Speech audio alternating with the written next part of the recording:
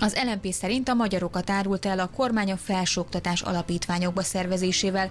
A párt frakció vezetője szerint a szabad és független felsőoktatás is veszélybe került az egyetemi átalakításokkal.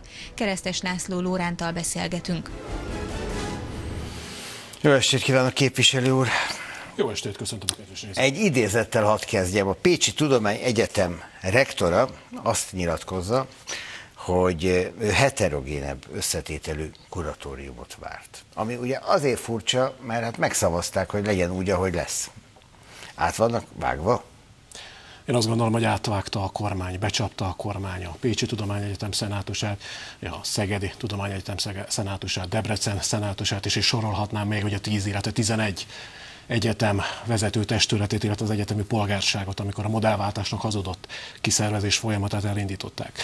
Ez egy egészen döbbenetes folyamat, és ugye látjuk itt hétről hétre, hogy gyakorlatilag már minden kormányzati érv megdőlt, minden kormányzati érv hazugságnak bizonyult modellváltás, ellen, modellváltás mellett. Ugye először még januárban Palkovics miniszter úr azzal indokolt, hogy azért szükséges kiszervezni az egyetemeket, mert egy történelmi szintű fejlesztésre lesz lehetőség azáltal, hogy 1500 milliárd forintot az Európai Uniós forrásokból lehívnak majd a felsőoktatás fejlesztésére.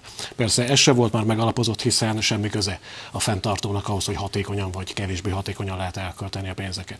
És a szavazás után, ugye ez, ezzel gyakorlatilag bele zsarolták, vagy bele csalogatták az egyetemeket a modellváltásban, és a múlt heti szavazás után két nappal Gulyás Gergely egész egyszerűen bejelentette, hogy nem jut az egyetemeknek fejlesztési forrás.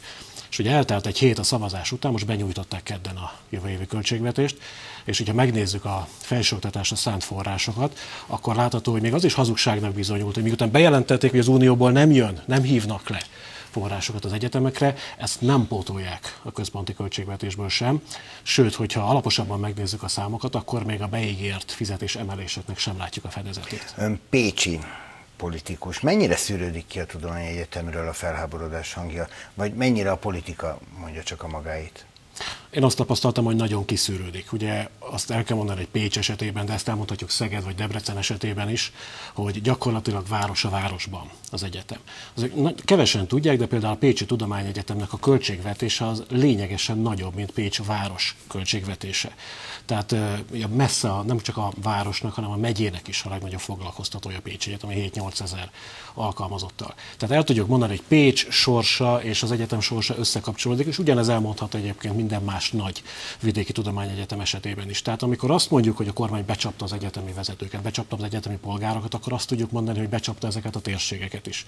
Hiszen ezek az egyetemek nem csak Magyarország legfontosabb egyetemei, a nagy vidéki tudományegyetemek, hanem a legfontosabb gazdasági szereplők, és hogyha ezekről a régiókról beszélünk, és a régió fejlesztési lehetőségeiről, ezek nem képzelhetőek el az egyetem nélkül, az egyetemmel való együttműködés. Hát igen, csak ugye most van az a furcsa helyzet, hogy a kormány az egyik részét megtartotta, betartotta az ígéreteinek, tehát ott van a kuratórium, amely minden fölött diszponál, a szenátus fölött is tulajdonképpen, és nem tartotta be azt, hogy mennyi pénzt kell adni. De hát innentől kezdve mondjuk egy rektor maximum nyilatkozik ilyet, mint a Pécsi Tudományegyetem rektora, hogy ő azt gondolta, hogy, de tenni igazán sokat nem tud az egyetemi vezetők ebben a helyzetben tenni már nem tudnak. Én azt gondolom, hogy ez egy társadalmi és politikai kérdés is. Tehát egy nagyon világos vállalást kell tennünk, és ezt már meg is tették az ellenzéki pártok, hogy egy év múlva, hogyha sikerül a kormányváltás, akkor az egyik legfontosabb, az egyik legelső intézkedésünk lesz az egyetemi autonómia helyreállítása.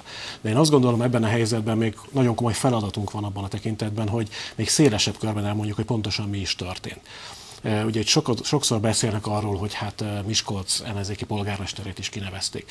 De én eddig 29 olyan kurátort számoltam, akik nem hogy Fideszhez közeliek, tehát én azokat nem számoltam bele, hanem olyan személyeket, akik most jelenleg kormányzati tisztséget viselnek, miniszterek, államtitkárok, vagy éppen a Fidesznek az országgyűlési képviselői, vagy egykori kormányzati tisztviselők voltak. Tehát az az érv, amit egyébként heteken, hónapokon keresztül hangsúlyozott a kormány, hogy itt nem a politikai szempontok vannak az előtérbe, ez megdőlt hiszen sorra nevezték ki a fideszeseket, és Orbán Viktor ugye múlt heti pénteki rádió nyilatkozatában pedig gyakorlatilag elismerte, hogy a fideszes képviselők, államtitkárok végig hazudták ezt a idézőjeles modellváltást, hiszen elismerte, hogy itt teljesen világosan a politikai indítatás volt a háttérben, az egyetemi kiszervezés. Hát a nemzeti kifejezést használta, de hát ez ebből a szempontból érthető és ugyanazt jelenti, mint amiről ön beszél. Nem lesz atomtemető Pécs nyugati határaitól néhány kilométerre, ez egy Facebook posztja.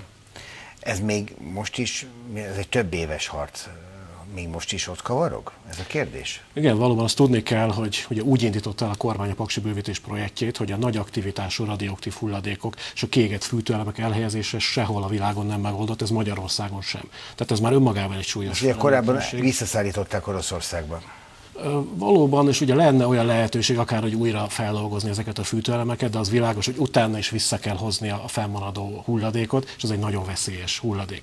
Tehát ez egy olyan, olyan kérdés, amit a jelenlegi jogszabályi környezetben meg kell oldani minden országnak, tehát saját programmal kell rendelkezni. Ugyanakkor tudjuk azt, hogy a Pécs mellett Baranyában Pécs nyugati határától 8 kilométerre kutatják a helyszínt úgy, hogy ez a térség elutasítja ezt a kutatást. És azt is el kell mondanom, hogy teljesen jogos az elutasítás, hiszen a világon nincs arra példa, hogy egy ilyen nagy, nagyvárosi agglomerációhoz ennyire közel akarjanak egy ilyen objektumot létesíteni. És ez egy súlyos felelős, felelőtlenség a kormány részéről, hiszen Orbán Viktor 2015-ben a szavát adta arra, hogy vétójoga van a térségnek. Tehát, hogyha nem akarják a Pécs és térségében élők, akkor nem lesz ilyen objektum, és azóta sem kérdezték meg. Az ott élőket nem kérdeztek meg minket, és évről évre költik el a milliárdokat, ami rendkívül nagy felelőtlenség. Egyébként sorolhatnám még hosszan, hogy milyen hazugságok és milyen felelőtlenségek vannak a Paks 2 projekt mellett, amivel kapcsolatban azért hát láthatjuk, hogy most nem olyan régen lemondott az országos atomenergia hivatal főigazgatója is, tehát egyre, egyre inkább gyülekeznek a viharfelhők a Paks 2 projekt körül. Hát, hogy azzal is mi lesz, még az is nagy kérdés, mert már lassan működnie kellene, és még a kapavágáson is alig vannak túl. Köszönöm, hogy a rendelkezésünkre állt frakcióvezető úr. Köszönöm. Jó hétvégét kívánok önnek is, meg a kedves nézőknek is. Jövő héten Szőlősi Györgyi lesz itt az Egyenes Beszédben az önök műsorvezetője, mi pedig majd itt két hét múlva találkozhatunk. Legközelebb jó hétvégét kívánok mindannyiuknak, viszontlátásra!